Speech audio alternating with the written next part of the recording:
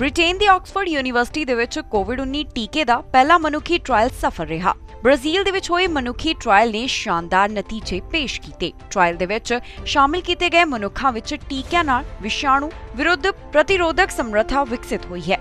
Oxford university ਦੇ ਵਿਗਿਆਨੀ ਟੀਕੇ ਦੀ ਪੂਰੀ ਸਫਲਤਾ ਬਾਰੇ ਪੂਰਾ ਭਰੋਸਾ ਰੱਖਦੇ ਹਨ। ਉਹਨਾਂ ਨੂੰ ਇਹ ਵੀ ਭਰੋਸਾ ਹੈ ਕਿ ਸਤੰਬਰ 2020 ਤੱਕ ਇਹ ਟੀਕਾ ਲੋਕਾਂ ਨੂੰ ਉਪਲਬਧ ਕਰਵਾ ਦਿੱਤਾ ਜਾਵੇਗਾ। ਇਹ ਟੀਕਾ ਐਸਟ੍ਰਾਜ਼ੇਨਕਾ ਦੁਆਰਾ ਤਿਆਰ ਕੀਤਾ ਜਾਵੇਗਾ। ਲਾਗ ਨੂੰ ਰੋਕਣ ਦੇ ਲਈ ਵਿਸ਼ਵ ਭਰ ਦੇ ਵਿੱਚ 100 ਤੋਂ ਵੱਧ ਸੰਭਾਵਿਤ ਟੀਕੇ ਵਿਕਸਿਤ ਕਰਨ ਦੀ ਕੋਸ਼ਿਸ਼ ਕੀਤੀ ਜਾ ਰਹੀ ਹੈ।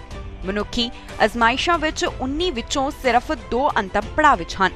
ਇਹਨਾਂ ਵਿੱਚੋਂ ਇੱਕ ਚੀਨ ਦੀ ਸਿਨੋਫਾਰਮਾ ਦੁਆਰਾ ਬਣਾਇਆ ਗਿਆ ਟੀਕਾ ਹੈ ਤੇ ਦੂਜਾ ਐਸਟ੍ਰੋਨੇਜ਼ੇਕਾ ਅਤੇ ਆਕਸਫੋਰਡ ਯੂਨੀਵਰਸਿਟੀ ਦੁਆਰਾ ਮਿਲ ਕੇ ਤਿਆਰ ਕੀਤਾ ਜਾ ਰਿਹਾ ਹੈ।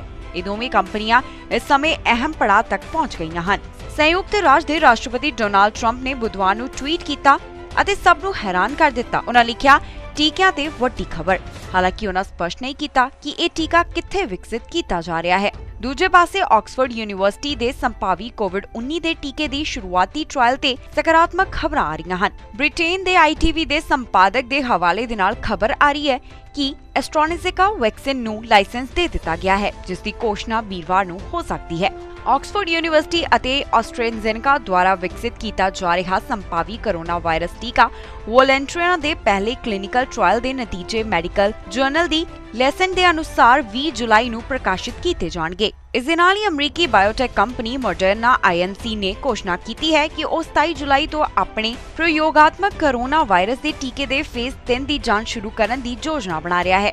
ਫੇਜ਼ 1 ਟ੍ਰਾਇਲ ਦੀਆਂ ਖੋਜਾਂ ਨੇ ਦਿਖਾਇਆ ਹੈ ਕਿ ਮੋਡਰਨਾ ਦਾ mRNA 1273 ਟੀਕਾ SARS-CoV-2 ਦੇ ਵਿਰੁੱਧ ਹੈ। Bureau report, Ajit web TV. ਵਧੇਰੇ ਖਬਰਾਂ ਦੇ ਲਈ ਤੁਸੀਂ ਬਣੇ ਰਹੋ ਅਜੀਤ ਵੈਬ ਟੀਵੀ ਦੇ ਨਾਲ।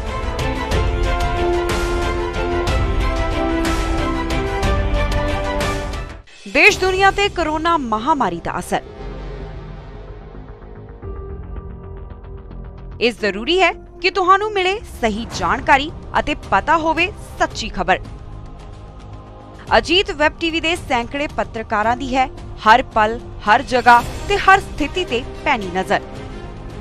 ਪਿੰਡ ਕਸਬਾ, ਸ਼ਹਿਰ ਹੋਵੇ ਜਾਂ ਦੇਸ਼ ਵਿਦੇਸ਼, ਅਸੀਂ ਜੁੜੇ ਹਾਂ ਤੁਹਾਡੇ ਨਾਲ ਅਖਬਾਰਾਂ ਤੇ ਸੋਸ਼ਲ ਮੀਡੀਆ ਰਾਹੀਂ। ਕਲਮ ਦੀ ਤਾਕਤ ਤੇ ਵੈਬ ਟੀਵੀ ਦੇ ਮਾਧਿਅਮ ਦੇ ਨਾਲ ਹਰ ਜਨ ਤੱਕ ਪਹੁੰਚਾਵਾਂਗੇ ਹਰ ਮਨ ਦੀ ਆਵਾਜ਼। ਹਰ ਆਮੋ ਖਾਸ ਤੇ ਹਕੂਮਤ ਨੂੰ ਵੀ ਕਰਾਂਗੇ ਸਵਾਲ ਜਵਾਬ ਆਪ ਨਹੀਂ ਤਾਂ ਪਹੁੰਚੇਗੀ ਸਾਡੀ ਵੀਡੀਓ ਕਾਲ।